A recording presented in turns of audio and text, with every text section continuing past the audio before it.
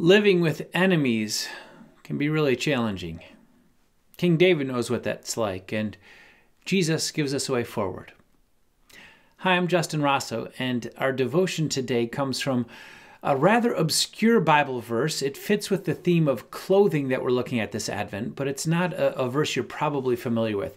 It's from Psalm 35, verse 36, and it says this Let them be put to shame and disappointed altogether who rejoice at my calamity. Let them be clothed with shame and dishonor, who magnify themselves against me. That's a, a, psalm of David. And as you read that whole psalm, you can hear David complaining to God about these people who are unjustly persecuting David. David feels like he's under attack and he continually cries out to God to rescue him and not only to rescue him, but to put all of his enemies to shame, clothe them with shame. We know what it's like to have enemies. We see it all around us. We see it in the news every day from Ukraine to Gaza to political parties. Anyone who doesn't think like you or vote like you or believe like you becomes your enemy. You feel persecuted. You feel under attack. There are people at work or at school that you just don't get along with who rub you the wrong way, and you're pretty sure they don't like you very much, and the feeling's mutual. You sometimes even feel hated as well as under attack. And if we're honest, we can sense those feelings of hate in ourselves as well. There's people we just don't like, they're our enemies. And yet, when we go back to that psalm, as David cries out to God and longs for rescue, as David prays the prayer to put his enemies to shame, we, we hear those words also through the lens of Jesus, who, as great David's greater son, also prays the Psalms. We hear Jesus, the only truly holy one, the only one completely without sin, the only righteous sufferer, cry out to God for rescue. And yet, when Jesus prays these prayers of David, when Jesus calls out for his enemies to be clothed with shame, we see him live out the opposite reality. We see Jesus take our shame on himself, to be clothed in shame on the cross. In fact, it's Romans chapter 5 that says, While we were God's enemies, we were reconciled to God through the death of his Son.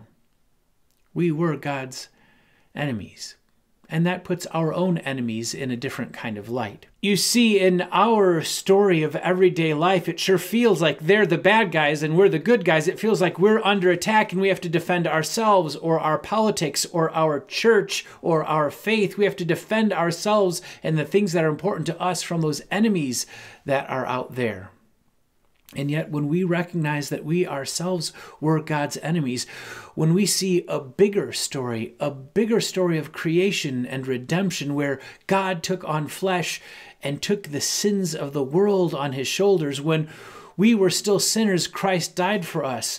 At just the right time, in our weakness, when we were ungodly, Jesus died for us while we were still sinners, while we were still enemies of God. Jesus reconciled us to the Father by his death on the cross. When we hold that bigger picture, that bigger story in place, then we begin to see even those people we count as enemies on the same side of the battle as we are. They, like us, in their sin, are enemies of God, and they, like us, are loved by God and redeemed by Jesus, even when they haven't come to know and claim that yet. That changes our perspective on what it means to live with enemies. When we recognize ourselves as God's enemies and yet redeemed in Jesus Christ, then we see our enemies as those who are loved by Jesus. And even though in our part, part of the story, even though from our perspective they feel like enemies who would attack us and harm us, we see in them fellow beloved, fellow redeemed, those for whom Christ died. It was Dietrich Bonhoeffer who said, You cannot hate the person for whom you pray. And so we're going to do that today. Let's pray. Oh Lord Jesus, you took our clothing of shame on the cross. When we were your enemies, you died for us and brought us back to God. So we hold before you today those people who feel like enemies to us, those people who hate us or attack us, those people who don't believe like we do or think like we do or vote like we do, those people in our lives that make us feel under attack.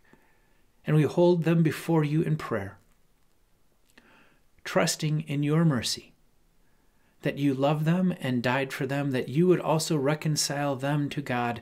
And because we are all reconciled to God by your cross, Jesus, we ask that you would reconcile us even to our enemies. For you, Jesus, took away our sin and shame at the cross, that we might be reconciled to God and to one another. Come quickly, Lord. Amen. Living with enemies can be a real challenge. King David knew what that was like.